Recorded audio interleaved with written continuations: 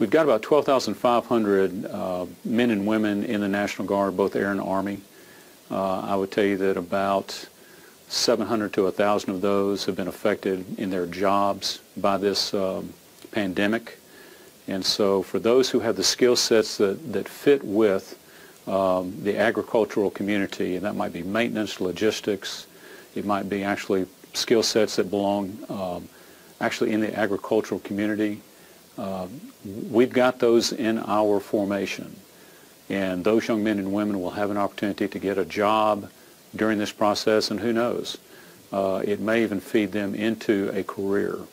And that's what we're hoping will happen for them. And meanwhile, they can stay in the Mississippi National Guard and be a contributor there too.